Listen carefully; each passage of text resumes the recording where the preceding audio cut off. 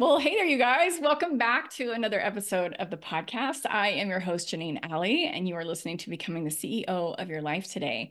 And today on the show, I'm super excited because we're talking about the exact soul satisfying process to become the CEO of your life today. I know that if you're listening to the podcast, you have built some level of success, but something feels like it's missing and is needed to help you to create more consistency and more growth and more of that feeling, that grounded feeling like, I've got this. So if you're noticing that you aren't growing despite your efforts, maybe you've hired a coach, you've gotten into a program, and you haven't quite gotten the results that you desire despite your hard work, I want you to know that something else is going on. And I know how frustrating this is because you're a good student. You show up, you follow the process to a T. If you're like me, you have studied how to execute the perfect webinar. You've probably poured over the scripts. I'm sure that you've been studiously following people on social media to see what it is that they're doing. You probably pay really close attention to people's marketing funnels to see how things are supposed to be done. I totally get it. But despite your efforts to get it right, you feel like that you are now looking at a watered down vanilla version of your vision. You may have started to notice the psychological toll that it takes to meet external expectations that are not quite aligned with you. But you do them because it's the thing that everyone says will work, but you know inside that something feels off. What happens is we start to experience more self doubt.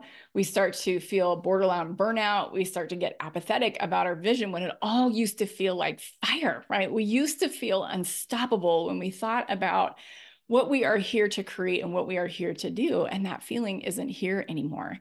Often people mistakenly think that they've hit a plateau because of a systems or a strategy or a marketing problem.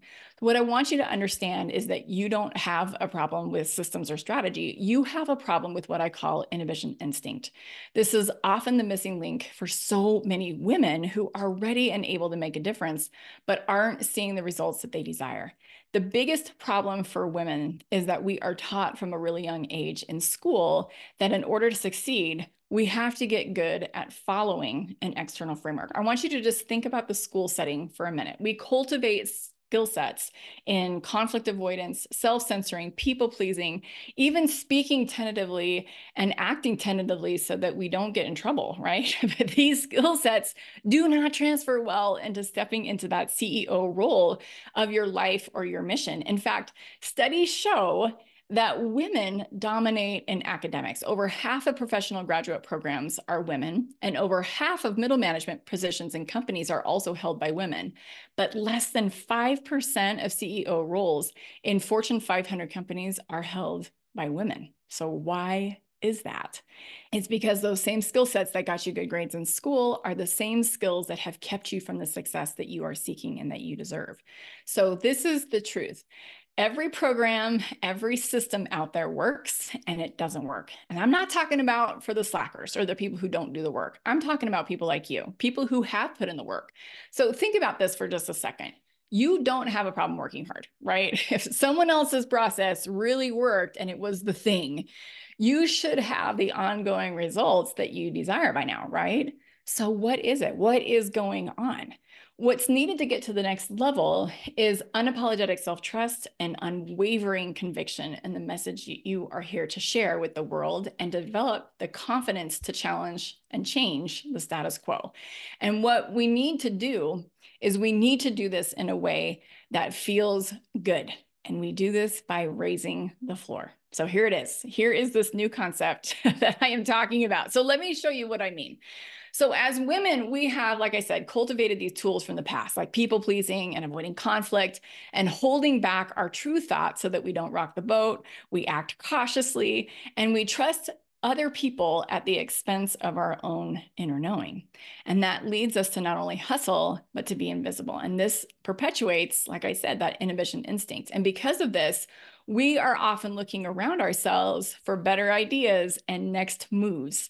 This is why we meticulously study someone else's webinar script instead of just jumping on Zoom and just hitting go and just sharing what's from our heart. We try to execute someone else's strategy perfectly. And this is where the misalignment starts to happen because sometimes we do this at the expense of how we want to say something or how we want to do something. And over time, we end up hiding behind what we feel like we should do and our own voice becomes blocked. We end up feeling dissatisfied with a weakened, watered down version of the vision. And this leaves us often working harder than we need to, trying to do all of the things and wondering how sustainable our systems are long term, right? It all feels misaligned. This is where that fatigue and apathy and self doubt start to show up, right? So, alignment is really key to rising above this experience. This is how we raise the floor. I've talked often about embodying your energetically aligned mission. This is what I mean. So, let me just start off by defining what I mean by alignment, because this is a word that gets thrown around a lot. so, I want to make sure that this definition is really clear. So, for me, alignment means closing the gap gap between intention and action, meaning the way that we dream about our lives or running our business versus the way that we actually do it. So, this alignment, of course, is on our terms, it's not someone else's. So, the further the alignment gap, the more dissatisfied we have with what it is that we're doing. We get out of alignment really quickly, of course, when we think we should be doing something a certain way. And yet at our core, it doesn't feel right. So when we're in alignment or super close to it, we are in flow. Things are so much easier and we feel that fire.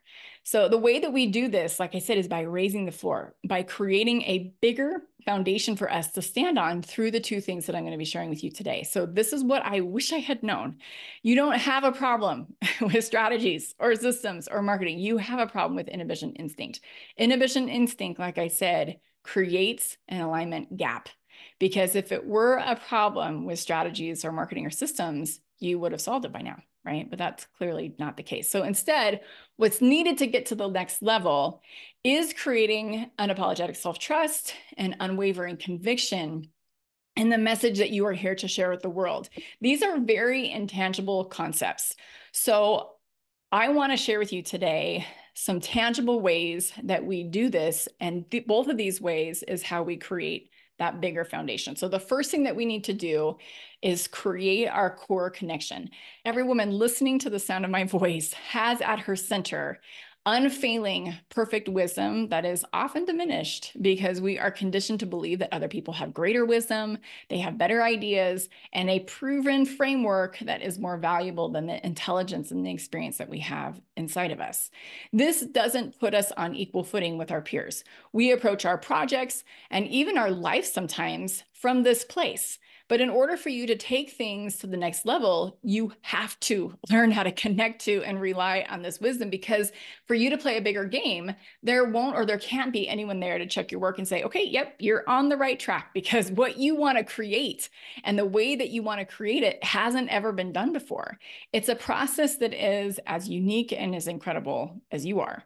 But you won't be able to level up if you're currently playing small and safe, hiding behind somebody else's expertise or formula formula or webinar script, right? So we are here to share something really powerful and unique with the world. And yet often we disregard this connection that we have with ourselves to do this effectively.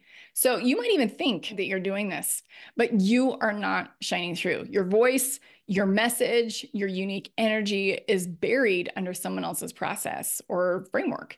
And I'm not saying that we shouldn't get input from other people. I understand the value of learning from other people. In fact, coaching and mentoring are crucial to help us to move forward. I talk about this all the time, right? Mm-hmm. But you don't want to do this at the expense of the value and the education and experience and wisdom that you bring to the table. But we're not even creating a seat at the table for ourselves.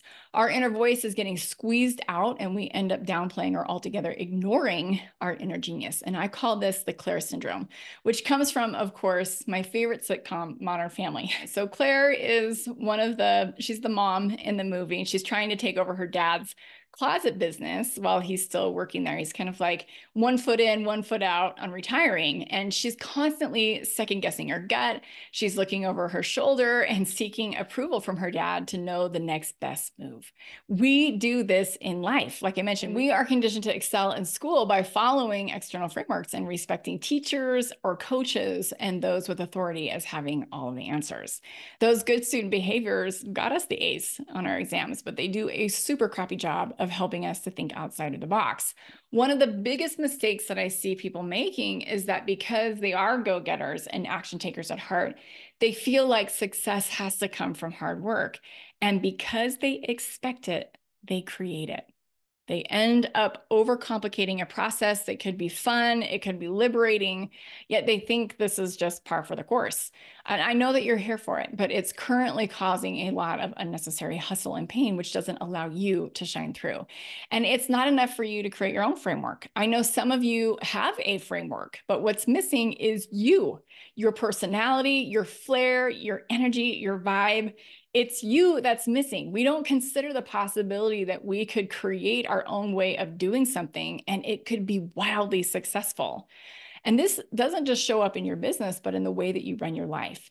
What you need to do instead is to create your core connection so that you can show up with unapologetic self trust. This is a power move. This is where this comes from. And this is what is going to set you apart in a crowded market.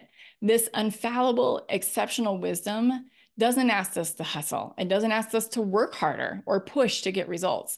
Instead, it shows us a simpler, easier, yet highly effective and authentic way in order to move forward. This is exactly what I wish I had known 10 years ago when I got started, because when we trust ourselves, when we trust our gut, we end up being anchored in ourselves, not a specific process. You're able to add in elements that feel good to you and that keep that fire going. You get into flow and create more ease and joy and fun in the process. So, at the very heart of playing a bigger game is our ability to show up authentically free from fear and growing more and more into the vision that you have to make a difference. And at your core, I know that you desire to be led by this resonant vision rather than to be pushed to achieve someone else's external markers of success. So, this brings me to my second secret, another piece of your foundation to help you to raise the floor. And it's how to fuel your creative fire. Because what I want you to understand is that you are an energetic being. You want to learn how to activate, how to replenish, how to recharge your internal energy and take care of yourself in a way, not just physically, but mentally and emotionally as well to support you and the work that you have to do in the world because you are an energy body. You're full of light, you're full of vibration and thoughts and consciousness and emotions and spirit. So, when energy circulates freely, all parts of ourselves communicate clearly and find harmony and balance. This is something that most visionaries put off or don't even pay attention to, right? They think, okay, when things slow down, then I'll be able to take care of myself. But the opposite of this is true. When I figured out how to raise the floor by focusing on connecting to my core and fueling my fire in the way that felt good to me and creating routines around these non negotiables, even my worst days were better than the average of what I was doing before. We end up using less energy to get better results because we're not all over the place. We're not spending time recovering from big pushes or force energy that takes a lot out of us. We've leveled up and we're able to generate and execute ideas with ease and attracts the right people to us. And because we're creating sustainable systems and energy, we have the clarity of mind to take care of what moves the needle. So let me give you an example of this. I probably mentioned this before on the podcast, but it's definitely worth repeating. So, procrastination is a pattern of a dysregulated nervous system. We become dysregulated when our sympathetic nervous system is turned on. Our sympathetic nervous system is in charge of our flight, fight, or freeze. And when this is activated, we feel really busy because our insides are busy trying to manage stress or anxiety. And it seems like we have a hundred things to do when in reality, there are only two or three that need to get done in order to really move the needle. But when we're in the state, of course, we're easily distracted. We take passive action like checking our email or hopping on social, even learning more information. These things don't really move the needle, but it feels like we're doing something. However, if we sit down to do the bid work, if we can get ourselves to do that, it takes us three to four hours to do an hour's worth of work, and the content isn't even that good. I shared last week about it about an experience that recently happened to me. And I wanted to share it again because this illustrates perfectly what I'm talking about. So last week, I had on my list to write five social media posts. And I sat down and I could tell that I was dysregulated. I was feeling a lot of anxiety. I knew that if I tried to force or push the content to come through, it was going to take me a really long time. And so instead, I worked on taking care of my nervous system instead. And I got going with my day. I didn't have any time to write in the morning. That's how I used that morning time. And by 5:30 at night, I still hadn't written, written these posts. And so I looked at the clock. It was around 5:30 at night. And I'm like, just sit down. Let's just see what comes through. And I even had to teach yoga a little bit later, and I hadn't even made dinner yet. And so I'm like, let's just see what comes through. And so I sat down with my pad of paper and my pen, and I wrote seven posts in less than 15 minutes. It was about 12 minutes. I could not believe it. It kind of blew my own mind. but this is flow. And this is an extreme example of this. But this is where intention and action and energy align. It makes your life so much easier. The interesting thing about it is I went about my day before I sat down to write. I wasn't even worried about it.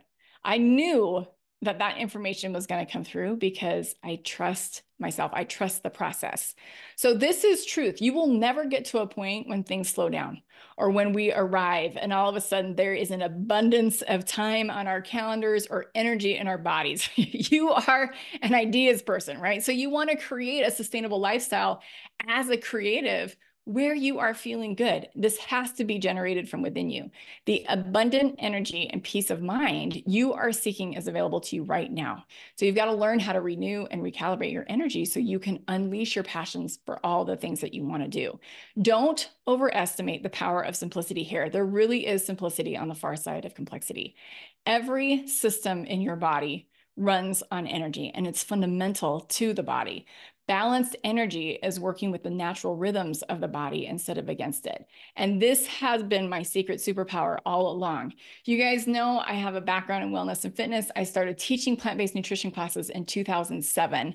I currently teach meditation and yoga. And of course, just like you, I have a lot of things going on. I built my business while I was homeschooling four kids. My husband has been deployed three times. Well, even while my kids were angsty teens, I wasn't just surviving, I thrived because I had created my own support and wellspring of energy. So, in order to truly stand out and be sustainable, we need to learn how to wake up this life force energy. This helps you to really bring the fire and the light and the flow behind your creativity and behind your message. So if you are excited, I know other people are going to get excited too. This is what makes you magnetic. People will start to lean in. They're going to go out of your way to find you because you will be fired up and in the right headspace to create heart-filled, unique content with a lot more ease and freedom. So the secret to your success really boils down to becoming unwavering and to have this conviction about what it is that you're doing. So the framework or raising the floor supports that. We've got to create our own core connection. We have to fuel our creative fire and we have to embody our energetically aligned message. All three of these pillars help you to become cemented in your ability to execute your vision. You become unwavering and relentless and unshakable in building the dream and continuing to level up. Wavering is the number one dream killer, in my opinion. We feel like things should be done a certain way and we waver. We waver when we get distracted, we can't focus, we struggle with shiny object syndrome. We feel like things should be done a certain way, whether it's someone else's proven framework or even the original idea of our project. And when things don't go the way that we plan, we doubt, we get confused, we get distracted, we procrastinate, we lose the fire, and then the vision starts to get fuzzy.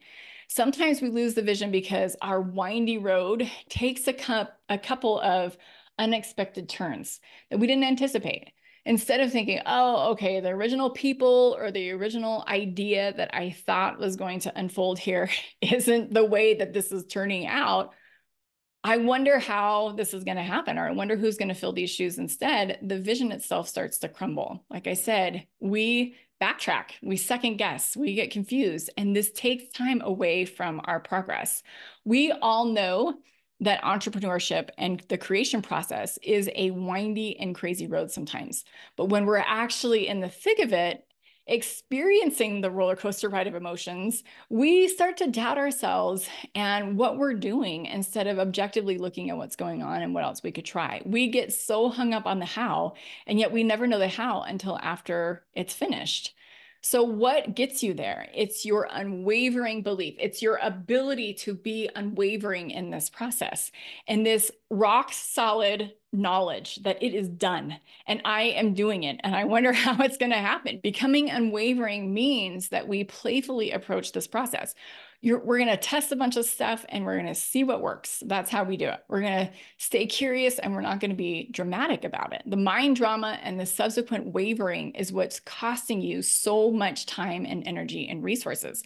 And not only that, but it is sucking the joy and the life right out of your experience by taking these things so seriously or by creating someone else's method that ends up morphing so many times, we end up with a product that doesn't even feel like us anymore.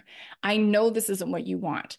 Becoming unwavering allows you to play a bigger game, to stay connected to yourself through this creation process and have fun at the same time because you're willing to fail and learn over and over without wavering.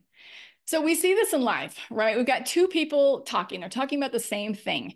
They are both selling mops at Walmart. One of the women who's selling mops is the Chalene Johnson of mops. She's super excited about the product. She thinks everyone should have one because they are amazing. She believes in the product because she uses it every day and it's been game changing, as game changing as mops can be.